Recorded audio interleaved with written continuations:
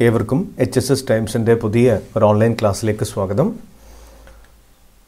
ഇന്നത്തെ ക്ലാസ്സിൽ നാം ഡിസ്കസ് ചെയ്യുന്നത് പ്ലസ് വൺ അക്കൗണ്ടൻസിയിലെ നാലാമത്തെ chapter recording of transactions second എന്ന പാഠമാണ്. അപ്പോൾ പ്ലസ് വൺ അക്കൗണ്ടൻസിയിലെ ഫോർത്ത് ചാപ്റ്ററിന്റെ ആദ്യത്തെ ക്ലാസ് ആണ് നിങ്ങളിപ്പോൾ കാണുന്നത്. ക്ലാസ്സിലേക്ക് പോകുന്നതിന് മുമ്പേ ഇതുവരെയായിട്ടും എച്ച് എസ് എസ് ടൈംസ് എന്ന വിദ്യാഭ്യാസ ചാനൽ സബ്സ്ക്രൈബ് ചെയ്തിട്ടില്ല എങ്കിൽ സബ്സ്ക്രൈബ് ചെയ്യുക. കൂടാതെ തൊട്ടടുത്തുള്ള ബെൽ ബട്ടണകത്ത് നോട്ടിഫിക്കേഷൻസ് ഓൾ എന്നുകൂടെ എനേബിൾ ചെയ്യുക. അങ്ങനെയാണെങ്കിൽ പുതിയ ക്ലാസ്സുകൾ അപ്ഡേറ്റ് ചെയ്യുന്ന സമയത്ത് നിങ്ങൾക്ക് നോട്ടിഫിക്കേഷൻ കൂടെ ലഭിക്കുന്നതായിരിക്കും. കൂടാതെ കൊമേഴ്സ് വിഷയങ്ങളുടെ പഠന വിഭവങ്ങൾ ആവശ്യമുള്ള വിദ്യാർത്ഥികൾക്കും അധ്യാപകർക്കും എച്ച് എസ് എസ് ടൈംസ് എന്ന ബ്ലോഗ് വിസിറ്റ് ചെയ്ത് കഴിഞ്ഞാൽ കേരളത്തിലെ വിവിധ അധ്യാപകർ തയ്യാറാക്കിയിരിക്കുന്ന മെറ്റീരിയൽസ് ഡൗൺലോഡ് ചെയ്യാൻ സാധിക്കുന്നതാണ്. നമുക്ക് ക്ലാസ്സിലേക്ക് പോകാം. നമ്മൾ കഴിഞ്ഞ ചാപ്റ്ററിൽ അതായത് നമ്മുടെ തേർഡ് ചാപ്റ്റർ ഇതായിരുന്നു റെക്കോർഡിംഗ് ഓഫ് ട്രാൻസാക്ഷൻസ് ഫസ്റ്റ് എന്നതായിരുന്നു നമ്മുടെ third chapter in our third chapter we learned in detail regarding how to prepare journal and that is how to enter the transactions in journal in the form of journal entry and the rules of journal entry in detail and also the preparation of ledger accounts and this is our fourth chapter the name is recording of transactions Second. Actually, this chapter is the continuation of the uh, third one. That is, the name of third chapter is Recording of Transactions First, and this is Recording of Transactions Second. So let's begin our uh, topic by uh, checking the meaning of a special journal. നമുക്ക് നമ്മുടെ പാഠം ആരംഭിക്കേണ്ടത് special journal എന്ന് പറയുന്ന ഒരു concept discuss ചെയ്തുകൊണ്ടാണ് we know what is journal എന്താണ് journal എന്ന് നമുക്കറിയാം. ഇവിടെ നമ്മൾ ഡിസ്കസ് ചെയ്യുന്നത്. In this chapter we are discussing special journals when the size of business and transactions are large recording of transactions in one journal will not be convenient and cause delay in work when the size of business and transactions are large ഒരു ബിസിനസ്സിന്റെ സൈസും അവിടെയുള്ള ട്രാൻസാക്ഷൻസും ഒരുപാട് കുറേ അധികം ഉണ്ടാകുന്ന സമയത്ത് recording of transactions in one journal is not convenient ഒരു സിംഗിൾ ജേണലിനകത്ത് എല്ലാ ട്രാൻസാക്ഷൻസും റെക്കോർഡ് ചെയ്യുക എന്ന് പറയുന്നത് കൺവീനിയന്റ് അല്ല സൗകര്യപ്രദമല്ല. And it causes delay in work കൂടാതെ ഇത് അക്കൗണ്ടിങ് വർക്ക് തന്നെ ഡിലേ ആവാൻ കാരണമാകുന്നു. കാരണം എന്താ? because in large sized organization thousands of transaction will takes place every day if accountants are trying to record the entire 1000 or 2000 or 3000 transactions in one journal it the accounting work will become a complex task so it will cause delay in accounting work therefore journal is divided into many subsidiary books called uh, special journals or day book അതുകൊണ്ട് journal എന്ന് പറയുന്ന പുസ്തകത്തിനെ ഒരുപാട് subsidiary അല്ലെങ്കിൽ അതിന്റെ sub divisions ആയിട്ട് subsidiary books ആയിട്ട് divide ചെയ്തിട്ടുണ്ട്. അങ്ങനെയുള്ള സബ്സിഡിയറി ബുക്കുകളെ വിളിക്കുന്ന പേരാണ് special journals or day books. Special journals or day books. ഇതാണ് ഈ ചാപ്റ്ററിന്റെ introduction now one are the advantages of maintaining special journals നമ്മളിങ്ങനെ ഇനി ഡിസ്കസ് ചെയ്യുന്നത് നമ്മളൊരു സ്ഥാപനത്തിൽ മെയിൻ ജേണൽ കൂടാതെ കുറേ മറ്റ് സ്പെഷ്യൽ ജേണൽ കൂടെ മെയിന്റെയിൻ ചെയ്ത് കഴിഞ്ഞാൽ അങ്ങനെയുള്ള സ്ഥാപനങ്ങൾക്ക് ലഭിക്കുന്ന അഡ്വാന്റേജസ് എന്തൊക്കെയാണ് അപ്പോൾ എന്താണ് സ്പെഷ്യൽ ജേണൽ എന്ന് പറഞ്ഞു കഴിഞ്ഞാൽ special journal means some special day books maintained in large sized organization in addition to normal or the original journal Suppose an organization maintains different special journals, such organization will enjoy some benefits. Now we are discussing the benefits enjoyed by an organization as a result of maintaining different uh, special journals. The first one is it saves to time. It helps the organization to save time. സമയം ലാഭിക്കാൻ വേണ്ടിയിട്ട് സ്ഥാപനങ്ങളെ സഹായിക്കുന്നു second one division of work is possible division of work is possible if an organization is maintaining uh, different special journals the each the preparation of each special journal can be entrusted with one person. So division of work is possible accounting work തന്നെ divide ചെയ്തിട്ട് ഓരോ വർക്കും ഇപ്പോൾ cash book ഒരാളോട് പറയുക purchase book വേറൊരാളോട് പറയുക purchase returns book വേറൊരാളോട് പറയുക ഇതൊക്കെ സ്പെഷ്യൽ ജേണൽസ് ആണ്. അപ്പോൾ ഇങ്ങനെ ഓരോ ജേണൽസും ഓരോ ആൾ പ്രിപ്പയർ ചെയ്ത് കഴിഞ്ഞാൽ നമുക്ക് എന്ത് ചെയ്യാം? അക്കൗണ്ടിങ് വർക്കിനെ ഡിവൈഡ് ചെയ്തിട്ട് കുറേ ആൾക്കാർക്ക് കൊടുക്കാൻ വേണ്ടി സാധിക്കും. അതാണ് division of work. Third one is easy availability of information. വളരെ പെട്ടെന്ന് തന്നെ അക്കൗണ്ടിങ് ഇൻഫർമേഷൻ മാനേജ്മെന്റിനൊക്കെ ലഭിക്കുന്നതായിരിക്കും എപ്പോഴാണോ മാനേജ്മെന്റിന് ബിസിനസ് അല്ലെങ്കിൽ അക്കൗണ്ടിങ് ഇൻഫർമേഷൻസ് ആവശ്യമായിട്ടുള്ളത് ആ സമയത്ത് തന്നെ എന്ത് ലഭിക്കുന്നതായിരിക്കും ഇൻഫർമേഷൻസ് ലഭിക്കുന്നതായിരിക്കും കാരണം കുറേ അധികം ആൾക്കാർ കുറേ അധികം അക്കൗണ്ടന്റുമാർ എന്റയർ അക്കൗണ്ടിങ് ടാസ്ക് പെർഫോം ചെയ്യുന്നു അതുപോലെ തന്നെ last one is it leads to specialization it leads to specialization അതായത് നമുക്കറിയാം ഇവിടെ നമ്മൾ പറഞ്ഞു in this case the organization will divide the accounting work and assign the first accounting work to first accountant the second accounting work it may be the preparation of cash book to second accountant the second accountant is always preparing cash book he is preparing cash book only and he will become expert in that task ഇവിടെ എന്ത് ചെയ്യുന്നു? Entire accounting വർക്കിന് divide ചെയ്തിട്ട് ഓരോരോ ആൾക്കാർക്കും ഓരോ ജോലി കൊടുക്കുന്നു. ഇപ്പോൾ രണ്ടാമത്തെ അക്കൗണ്ടിനോട് പറയുന്നത് ക്യാഷ് ബുക്ക് പ്രിപ്പയർ ചെയ്യാൻ വേണ്ടിയിട്ടാണ്. അയാൾ എപ്പോഴും ക്യാഷ് ബുക്ക് തന്നെ പ്രിപ്പയർ ചെയ്യുന്നു. അയാൾ അതിൽ എക്സ്പേർട്ട് ആവും. മൂന്നാമത്തെ അക്കൗണ്ടിനോട് പറയുന്നു നിങ്ങൾ പർച്ചേസ് ബുക്ക് പ്രിപ്പയർ ചെയ്യാൻ വേണ്ടിയിട്ട്. അപ്പോൾ തേർഡ് അക്കൗണ്ട് എപ്പോഴും അക്കൗണ്ടന്റ് എപ്പോഴും പർച്ചേസ് ബുക്ക് തന്നെ പ്രിപ്പയർ ചെയ്യുന്നു. അയാൾ അതിന്റെ പ്രിപ്പറേഷനിൽ എക്സ്പേർട്ട് ആവും. അങ്ങനെ ഒരു ജോലി തന്നെ ഒരാൾ തുടർച്ചയായി ചെയ്തു കഴിഞ്ഞാൽ അയാൾ ആ ജോലിയിൽ എക്സ്പേർട്ട് ആവും. ആ ബെനഫിറ്റാണ് സ്പെഷ്യലൈസേഷൻ എന്ന് പറയുന്നത്. If a person perform a particular task every day, he will become expert in his task.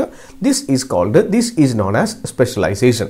So, as a result of maintaining special journals, uh, specialization is possible. കുറേ ജോലിക്കാരൊക്കെ അവരവരുടെ ജോലിയിൽ എക്സ്പേർട്ട് ആയിട്ട് മാറും ഇതാണ് advantages of special journals next one types of special journals next പഠിക്കാനുള്ളത് different types of special journals ആണ് അതിൽ ആദ്യത്തത് ക്യാഷ് ബുക്കാണ് the first one is cash book അപ്പോൾ കമ്പനികൾ വിവിധ തരത്തിലുള്ള സ്പെഷ്യൽ ജേണൽസ് മെയിന്റെയിൻ ചെയ്യും. അതിലെ ഏറ്റവും പ്രധാനപ്പെട്ട ഒരു സ്പെഷ്യൽ ജേർണലാണ് ക്യാഷ് ബുക്ക് എന്ന് പറയുന്നത്. മൂന്ന് തരത്തിലുള്ള ക്യാഷ് ബുക്കാണ് സാധാരണ ഉള്ളത്. Single column cash book it is also known as simple cash book double column cash book third one petty cash book മൂന്ന് തരത്തിലുള്ള cash ബുക്കാണുള്ളത് single column cash book double column cash book petty cash book ഇത് നമ്മുടെ സിലബസിലുള്ളത് കാര്യമാണ്. മൂന്ന് type cash book നമുക്ക് പഠിക്കാനുണ്ട്. ഏതൊക്കെയാണ്? Single column double column petty cash book the second one is purchase book രണ്ടാമത്തെ സ്പെഷ്യൽ ജേണലിന്റെ പേരാണ് purchase book the third one is purchase returns book the third special journal is purchase returns book the fourth one is sales book നാലാമത്തത് sales ബുക്കാണ് the fifth one is sales returns book അഞ്ചാമത്തെ special ജേണലിന്റെ പേരാണ് sales returns book ആറാമത്തെ special ജേണലിന്റെ പേരാണ് bills receivables book bills receivables book ഏഴാമത്തെ special ജേണലിന്റെ പേരാണ് bills payables book bills payable book എട്ടാമത്തെ സ്പെഷ്യൽ ജേണലിന്റെ പേരാണ് ജേണൽ പ്രോപ്പർ ജേണൽ പ്രോപ്പർ ഇതൊക്കെ നമ്മൾ വളരെ ഡീറ്റെയിൽ ആയിട്ട് വരുന്ന ക്ലാസ്സുകളിൽ ഡിസ്കസ് ചെയ്യും. ഇപ്പം നിങ്ങൾ ഇതിന്റെ പേര് മാത്രം ഒന്ന് മനസ്സിലാക്കുക. എട്ട് തരത്തിലുള്ള സ്പെഷ്യൽ ജേണൽസ് ആണ് നമുക്ക് ഈ ചാപ്റ്ററിനകത്ത് ഡിസ്കസ് ചെയ്യാനുള്ളത്. ക്ലിയർ അതിലൊന്നാമത്തതിലേക്ക് നമുക്ക് പോകാം. The first one is cash book ഒന്നാമത്തെ special ജേണലാണ് cash book the most important special journal of an organization is cash book വളരെ പ്രധാനപ്പെട്ട കാര്യമാണ്. പബ്ലിക് എക്സാമിന് എട്ട് മാർക്കിന്റെ എസ് എ ക്വസ്റ്റ്യൻ ഈ ഡബിൾ കോളം ക്യാഷ് ബുക്കിന്റെ പ്രിപ്പറേഷൻ ചോദിക്കാറുണ്ട്. അപ്പോൾ വളരെ വളരെ പ്രധാനപ്പെട്ട ടോപ്പിക്കാണ് cash book cash book is a book in which all transactions relating to cash receipts and cash payments are recorded. Cash book is a book in which uh, all transactions relating to cash receipt and cash payments are recorded. Cash book എന്ന് പറയുന്നത് ഒരു പുസ്തകമാണ് ഒരു ബുക്കാണ് അതിൽ cash റിസിപ്റ്റും cash പേയ്മെന്റ്സും record ചെയ്യുന്നു നമുക്കറിയാം ഇപ്പോൾ ഒരു example started business with cash എന്താ journal entry cash account added to capital account അതിനകത്ത് ക്യാഷ് ഉണ്ട്. Paid salary salary account added to cash account cash sales cash account added to sales account അപ്പോൾ cash എന്ന് പറയുന്ന element ഏതൊക്കെ journal ഏതൊക്കെ ഏതൊക്കെ ട്രാൻസാക്ഷൻസിലുണ്ടോ അങ്ങനെയുള്ള ട്രാൻസാക്ഷൻസിനൊക്കെ റെക്കോർഡ് ചെയ്യുന്ന പുസ്തകമാണ് ക്യാഷ് ബുക്ക് എന്താണ്?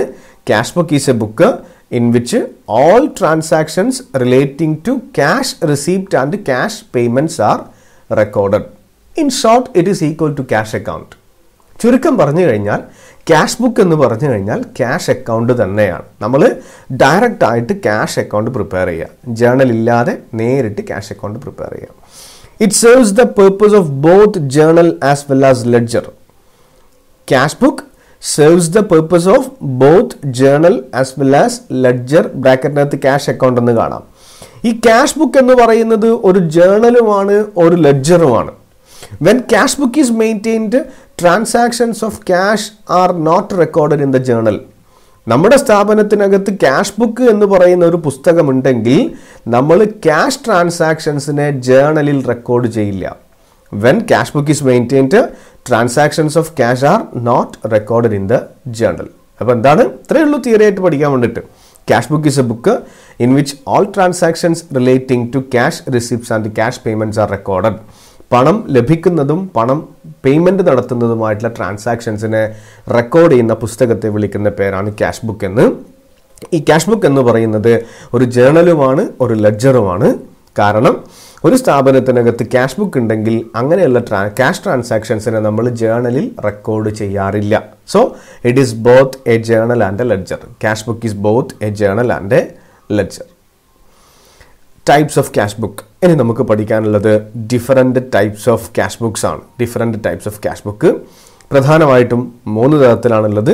സിംഗിൾ കോളം ഡബിൾ കോളം കൂടാതെ പെറ്റി ക്യാഷ് ബുക്ക് അതിനകത്തെ ആദ്യത്തെ ടൈപ്പാണ് single column cash book or simple cash book single column cash book or simple cash book a cash book which contain only one amount column for amount on both sides is called a single column cash book or simple cash book.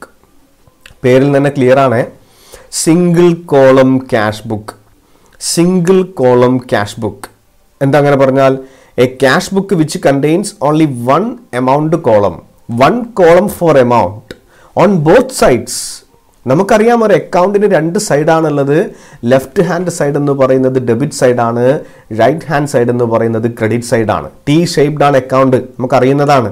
അപ്പോൾ ഒരു ഈ cash ബുക്കിനകത്ത് debit സൈഡിലും credit സൈഡിലും amount എഴുതാൻ വേണ്ടിയിട്ട് ഒരു column മാത്രമേ ഉള്ളൂ എങ്കിൽ അങ്ങനെയുള്ള അക്കൗണ്ട് സോറി അങ്ങനെയുള്ള ക്യാഷ് ബുക്കിനെ വിളിക്കുന്ന പേരാണ് സിംഗിൾ കോളം ക്യാഷ് ബുക്ക് അല്ലെങ്കിൽ simple cash book a cash book uh, which contains only one column for amount on debit side and credit side is called single column cash book അതിന്റെ format നോക്കുക format of a single column cash book നമുക്കറിയാം ഈ left hand side എന്ന് പറയുന്നത് ഇതിന്റെ debit സൈഡാണ് left hand side of an account is debit side ശരിക്കും ഇത് എന്താണ് ക്യാഷ് അക്കൗണ്ട് തന്നെയാണ്. ഇതിന്റെ ഹെഡിങ് മാത്രമേ മാറിയിട്ടുള്ളൂ. സിംഗിൾ കോളം ക്യാഷ് ബുക്ക് എന്ന് മാറ്റിയിട്ടുണ്ട്. It's it's equal to cash account ഇത് ക്യാഷ് അക്കൗണ്ട് തന്നെയാണ്. അപ്പോൾ ഇവിടെ ഡെബിറ്റ് സൈഡിൽ ഫസ്റ്റ് കോളം ഡേറ്റ് കോളം രണ്ടാമത്തത് പെർട്ടിക്കുലേഴ്സ് കോളം. ഡെബിറ്റ് സൈഡിൽ എപ്പോഴും റെസിപ്റ്റ് ആയിരിക്കും. ക്യാഷ് റെസിപ്റ്റ് ആയിരിക്കും ഡെബിറ്റ് സൈഡിൽ ഉണ്ടായിരിക്കുക. മൂന്നാമത്തത് എൽ എഫ് കോളമാണ്. നാലാമത്തത് എമൗണ്ട് കോളമാണ്. അപ്പോൾ ഇവിടെ ഡെബിറ്റ് സൈഡിനകത്ത് ഒരു എമൗണ്ട് കോളം മാത്രമേ ഉള്ളൂ. അതുപോലെ ക്രെഡിറ്റ് സൈഡ് നോക്കുക. ആദ്യത്തത് ഡേറ്റ് കോളം രണ്ടാമത്തത് പർട്ടിക്കുലേഴ്സ് കോളം മൂന്നാമത്തത് എൽ എഫ് കോളം നാലാമത്തത് എമൗണ്ട് കോളം അപ്പോൾ ക്രെഡിറ്റ് സൈഡിലും ഒരു എമൗണ്ട് കോളം മാത്രമേ ഉള്ളൂ.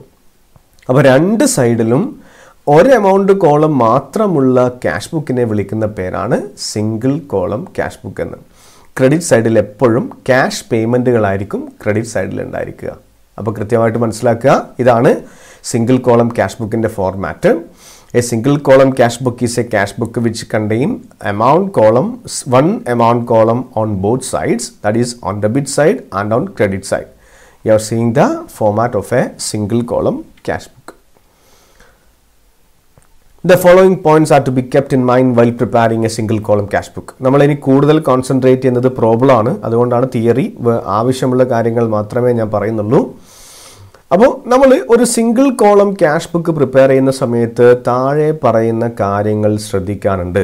The following points are to be kept in mind while preparing a single column cash book cash book is just like a cash account ആദ്യമായിട്ട് നിങ്ങൾ മനസ്സിലാക്കേണ്ടത് cash book എന്ന് പറയുന്നത് it is just like cash account ഇത് cash അക്കൗണ്ടിന്റെ പോലെയുള്ള ഒരു ബുക്കാണ് ക്യാഷ് അക്കൗണ്ട് തന്നെയാണ് എന്ത്? സിംഗിൾ കോളം ക്യാഷ് ബുക്ക് എന്ന് പറയുന്നത്. രണ്ടാമത്തത് the opening balance of cash is to be entered on the debit side as balance brought out the opening balance of cash is to be entered on the debit side as balance brought out നിങ്ങൾക്ക് ചെയ്യാനുള്ള പ്രോബ്ലത്തിനകത്ത് opening balance brought down എന്ന് ആദ്യത്തെ transaction തന്നിട്ടുണ്ടെങ്കിൽ അതിനെ നിങ്ങൾ നിർബന്ധമായിട്ടും debit സൈഡിലാണ് ബ്രോഡ് ഓൺ ചെയ്യേണ്ടത്. കാരണം എന്താ? ക്യാഷ് എന്ന് പറയുന്നത് ഒരു അസറ്റ് ആണ്. ക്യാഷ് എന്ന് പറയുന്നത് ഒരു അസറ്റ് ആണ്. ക്യാഷ് അക്കൗണ്ട് എന്ന് പറയുന്നത് ഒരു അസറ്റ് ആണ്. നമുക്കറിയാം അസറ്റിന്റെ നോർമൽ ബാലൻസ് ഡെബിറ്റ് ബാലൻസ് ആണ്. നിർബന്ധമായിട്ടും ക്യാഷ് ബുക്കിന് ഡെബിറ്റ് ബാലൻസ് ആയിരിക്കും ഉണ്ടാവാറുള്ളത്. കാരണം അത് നമുക്ക് അടുത്ത ക്ലാസ്സുകളിൽ ഡിസ്കസ് ചെയ്യാം. അപ്പോൾ ഓപ്പണിംഗ് ബാലൻസ് തന്നിട്ടുണ്ടെങ്കിൽ നിർബന്ധമായിട്ടും അതിനെ നിങ്ങൾ ഡെബിറ്റ് സൈഡിൽ എന്ത് ചെയ്യണം? ബാലൻസ് ബ്രോഡൗൺ എന്ന് പറഞ്ഞിട്ട് എഴുതിയിരിക്കണം. The receipt side that is debit side will always be more than more than or equal to the payment side credit side but never be less than the credit side because no one can spend more than they receive ഇവിടെ നിങ്ങൾ മനസ്സിലാക്കേണ്ടത് ഞാൻ നേരത്തെ രണ്ടാമത്തെ point പറയുന്ന സമയത്ത് പിന്നീട് പഠിക്കാമെന്ന് പറഞ്ഞു അതൊന്നുകൂടെ നമ്മൾ എക്സ്പ്ലെയിൻ ചെയ്യുകയാണ് ക്യാഷ് ബുക്കിന്റെ കേസിൽ എല്ലായ്പ്പോഴും ഡെബിറ്റ് സൈഡ് ആയിരിക്കും the receipt side that is debit side will always be more than or equal to the payment side മിക്കവാറും കേസിലൊക്കെ ഡെബിറ്റ് സൈഡ് ആയിരിക്കും അധികം. ഇനി ചില കേസുകളിൽ രണ്ട് സൈഡും ഈക്വൽ ആയിരിക്കും. രണ്ട് സൈഡും ഈക്വൽ ആണെന്ന് പറഞ്ഞു കഴിഞ്ഞാൽ നമ്മുടെ കയ്യിലുള്ള പൈസയൊക്കെ നമ്മൾ സ്പെൻഡ് ചെയ്തു എന്നാണ് അർത്ഥം. അപ്പോൾ നെക്സ്റ്റ് മന്തിൽ ഒരു ക്യാഷ് അക്കൗണ്ടിന്റെ രണ്ട് സൈഡും ഡെബിറ്റ് സൈഡും ക്രെഡിറ്റ് സൈഡും ഈക്വൽ ആയി കഴിഞ്ഞാൽ നമ്മുടെ കയ്യിൽ ക്യാഷ് ഇല്ല. Total receipt is equal to total payment അതാണ് അതിന്റെ അർത്ഥം. അപ്പോൾ എന്താണ് ഇവിടെ സാധാരണഗതിയിൽ ഒരു നയന്റി പെർസെന്റേജ് അല്ലെങ്കിൽ നയന്റി നയൻ പെർസെന്റേജ് പ്രോബ്ലംസിലും സാധാരണ എന്തായിരിക്കും? ഡെബിറ്റ് സൈഡ് ആയിരിക്കും അധികം. കാരണം റെസിപ്റ്റ് ആയിരിക്കും എപ്പോഴും അധികം. നമ്മുടെ കയ്യിലുള്ള പണത്തിനേക്കാൾ അധികം നമുക്ക് സ്പെൻഡ് ചെയ്യാൻ പറ്റില്ല. അതുകൊണ്ട് സിംഗിൾ കോളം ക്യാഷ് ബുക്കിന്റെ ഡെബിറ്റ് സൈഡ് ആയിരിക്കും എല്ലാ സമയത്തും അധികമായിട്ടുണ്ടാവുക. The receipt side will always be more than or equal to the payment side but never be less than the credit side പക്ഷെ ഒരിക്കലും ക്രെഡിറ്റ് സൈഡിനേക്കാൾ കുറവാകില്ല. Because no one can spend more than they receive ഒരാൾക്കും അവരുടെ കയ്യിലുള്ള പണത്തിനേക്കാൾ അധികം spend ചെയ്യാൻ പറ്റില്ല. അതുകൊണ്ട് അപ്പോൾ എന്താ ഇങ്ങനെ ഇത് എവിടെ നോക്കുക? നമ്മൾ അതിന്റെ ഫോർമാറ്റ് നോക്കി. ഇതിന്റെ ഫോർമാറ്റ് ഇതാണ് റെസിപ്റ്റ് ആണ്. ഡെബിറ്റ് സൈഡിലാണ് ക്യാഷ് റെസിപ്റ്റ് ക്രെഡിറ്റ് സൈഡിലുള്ളത് പേയ്മെന്റ് ആണ്. അപ്പോൾ എപ്പോഴും റെസിപ്റ്റ് സൈഡായിരിക്കും അധികം. പേയ്മെന്റ് സൈഡ് കുറവായിരിക്കും. കാരണം ഇവിടെ അയ്യായിരം രൂപ ഉണ്ടെങ്കിൽ നമുക്ക് മാക്സിമം അയ്യായിരം സ്പെൻഡ് ചെയ്യാം പേയ്മെന്റിൽ അപ്പോൾ അയ്യായിരം സ്പെൻഡ് ചെയ്ത് കഴിഞ്ഞാൽ രണ്ട് സൈഡും ഈക്വലായി നാലായിരത്തി അഞ്ഞൂറ് സ്പെൻഡ് ചെയ്ത് കഴിഞ്ഞാൽ ഇവിടെ അയ്യായിരം ഇവിടെ നാലായിരത്തി അഞ്ഞൂറ് അപ്പോഴും ഡെബിറ്റ് സൈഡ് തന്നെയാണ് അധികം. അപ്പോൾ പറഞ്ഞു വന്ന കാര്യത്തിലും ഒരു സിംഗിൾ കോളം ക്യാഷ് ബുക്കിന്റെ ഡെബിറ്റ് സൈഡായിരിക്കും എല്ലാ സമയത്തും അധികം ഉണ്ടാവുക എന്ന് നിങ്ങളിവിടെ മനസ്സിലാക്കുക. ഇത്രയും കാര്യങ്ങളാണ് ഈ ഒന്നാമത്തെ ക്ലാസ്സിൽ നിങ്ങളുമായിട്ട് ഡിസ്കസ് ചെയ്യാനുള്ളത്. വളരെ കൃത്യമായിട്ട് കാര്യങ്ങൾ കണ്ട് മനസ്സിലാക്കുക. ഒരു തവണ കണ്ട് മനസ്സിലായിട്ടില്ല എങ്കിൽ രണ്ടോ മൂന്നോ തവണ ക്ലാസ് കാണുക. അടുത്ത ക്ലാസ്സിൽ ഇതിന്റെ പ്രോബ്ലംസ് നമുക്ക് ഡിസ്കസ് ചെയ്യാം. താങ്ക്